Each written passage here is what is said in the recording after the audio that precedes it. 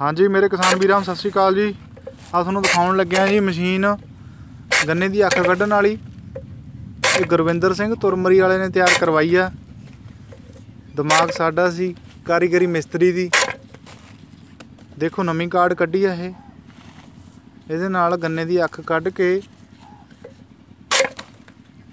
ਲਾਈ ਹੋਈ ਆ ਆਪਣੀ। ਇਹ ਦੇਖੋ ਜਿਹੜੀ ਪੋਰੀ ਇਹਦੇ ਵਿੱਚੋਂ ਬਚਦੀ ਆ ਨਿਕਲਦੀ ਆ ਨਾਲ ਦੀ ਨਾਲ ਟੋਕਰਿਆਂ ਦੇ ਵਿੱਚ ਪਾ ਕੇ ਉਹ ਭਈਏ ਗੰਨਾ ਵੱਢ ਰਹੇ ਨੇ। ਨਾਲ ਦੀ ਨਾਲ ਟਰਾਲੀ ਦੇ ਵਿੱਚ ਵੇਸਟ ਨਹੀਂ ਹੋਏਗੀ। ਇਹ ਦੇਖੋ। ਇਸ ਨਾਲ ਟਾਈਮ ਦੀ ਬਚਤ ਹੁੰਦੀ ਆ।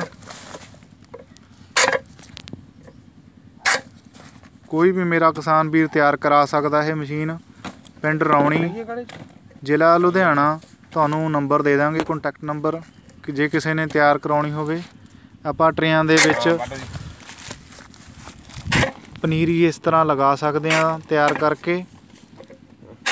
ਇਹਦੇ ਵਿੱਚ ਅਜੇ ਦਵਾਈ ਲਾ ਕੇ, ਉਸ ਤੋਂ ਬਾਅਦ ਕੋਕੋਪਿਟ ਪਾ ਕੇ ਲਗਾਵਾਂਗੇ ਇਹਨੂੰ। ਇਹ ਦੇਖੋ। ਇਸ ਨੂੰ ਸਾਈਕਲ ਦੀ ਹੱਬ ਲਾ ਕੇ ਬਲੇਡ ਲਾਏ ਨੇ ਨਾਲ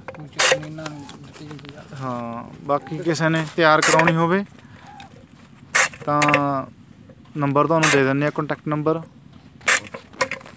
ਠੀਕ ਹੈ ਜੀ।